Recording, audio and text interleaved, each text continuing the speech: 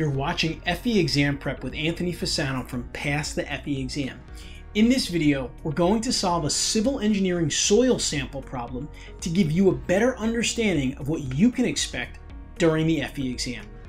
This Pass the FE Exam video is brought to you by PPI, a leader in engineering exam prep for the FE and PE exams since 1975. PPI provides expert prep courses and study resources designed to help you pass the FE exam the first time.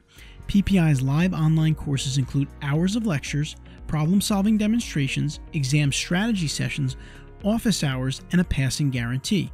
When you take a live online course, PPI guarantees you will pass, or you can take the on demand course for free.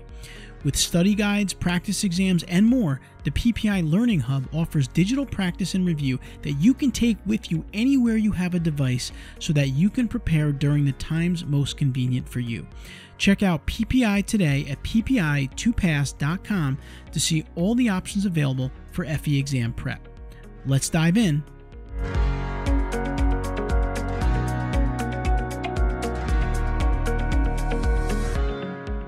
This week's problem was created and solved by Enrique Ivers, an engineer in training.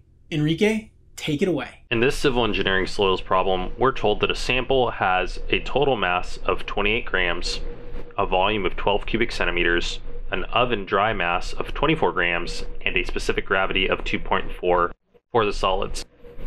We're asked to determine the void ratio of the soil sample and are provided with the following answer choices.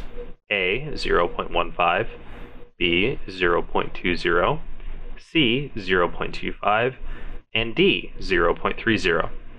When we calculate the void of soil samples, we should model the soil as a three-phase system of air, water, and solid. On the first page of the civil engineering section of the FE handbook, we see a phase diagram similar to what's shown on the right.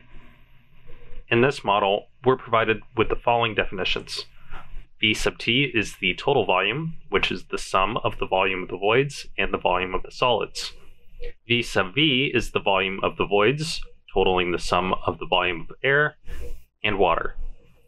V sub a is the volume of air, V sub w is the volume of water, V sub s is the volume of solids, and m sub t is the total mass, which is the sum of m sub w, the mass of water, and m sub s, the mass of the solids.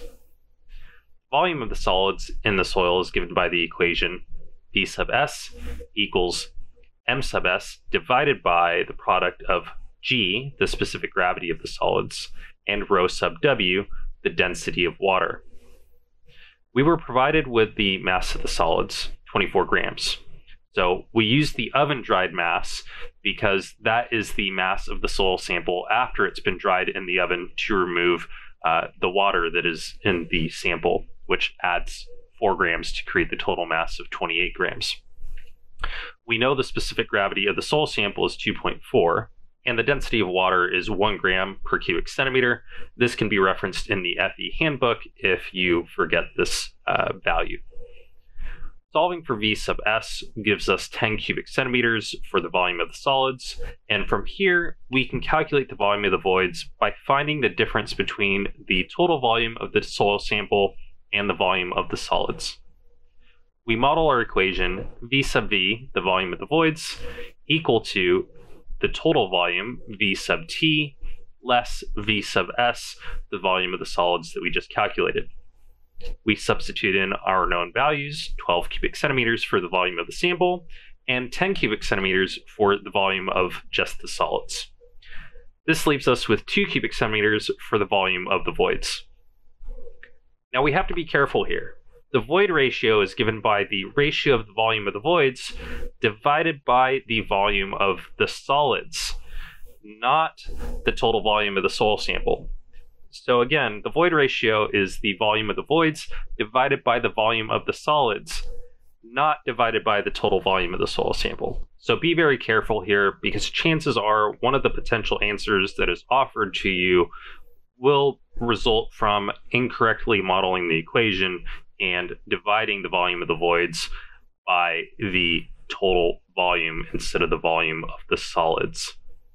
So making sure that we use the right values, we substitute in 2 cubic centimeters for V sub V and 10 cubic centimeters for V sub s.